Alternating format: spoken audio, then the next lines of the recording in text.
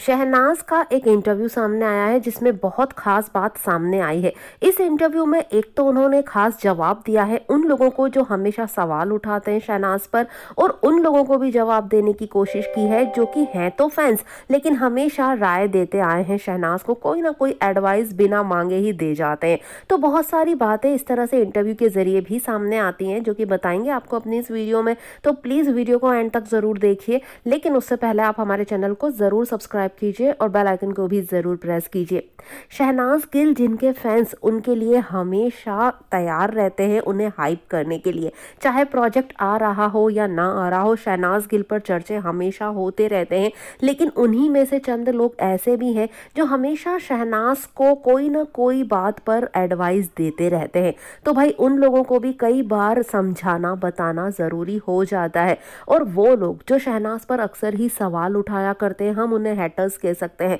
Haters को जवाब हम लोग हमेशा अपने तरीके से देते आए हैं। शहनाज के फैंस उनकी आर्मी है तो शहनाज को कभी बोलने की ज़रूरत नहीं पड़ी। फैंस अपने तरीके से ही जवाब दे देते हैं। लेकिन कई बार ऐसा होता है ना, बातें हद से ज़्यादा गुजर जाती हैं और शहनाज को जवाब देना पड़ जाता है। यूँ तो शहनाज इन बातों में नहीं पड़ती नेगेटिविटी को कभी माइंड में नहीं लाती हैं या नेगेटिविटी पर ध्यान ही नहीं देती हैं। लेकिन कई बार ऐसा हो जाता है कि वो नेगेटिविटी माइंड में स्टक कर जाती है। बहुत हर्ट भी होती होंगी शहनाज क्योंकि उन्हें पता है सोशल मीडिया पर क्या कुछ चल रहा है। तो उन बातों से हर्ट शहनाज बहुत बार हो जाती हैं और कई बार अपने इंटरव्यूज़ में उन चीज़ों को लेकर बात करती हैं। उन लोगों को मुँह तोड़ जवाब भी देती हैं। बीते दिनों शहनाज का एक इंटरव्यू सामने आया जिसमें उन्होंने कहा कि हैटर्स बहुत कुछ बोलते हैं। उनका कहना हमेशा ये रहता है कि इसने ऐसा क्यों पहन लिया, यो, ये क्यों पहन लिया, उसके साथ घूमने क्यों चली गई, उसके साथ मूवी क्यों कर ली? तो इस तरह की चीज़ें ना नहीं होनी चाहिए। आप माँ बाप बनने की कोशिश ना करें।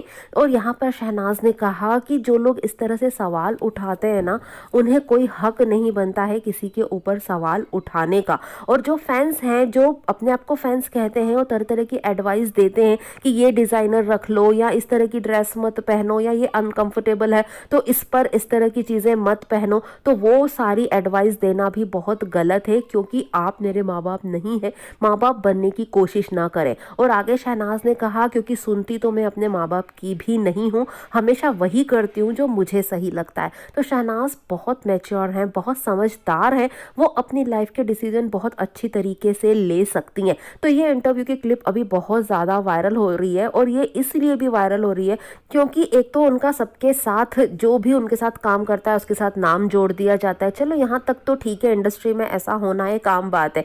लेकिन शहनाज शहनाज के पहनावे को लेकर भी बहुत सारे लोग गलत बातें फैलाते हैं, गलत कमेंट्स करते हैं। तो इन चीज़ों पर जवाब शहनाज ने दिया है। वेल well गाइज़ आपका इस पर क्या है कहना? कमेंट में आकर हमें ज़रूर बताएँ। वीडियो को लाइक और शेयर ज़रूर करें। और चैनल ज़रूर सब्सक्राइब कर दें लेटेस्ट अपडेट पाने के लिए। Thanks for watching guys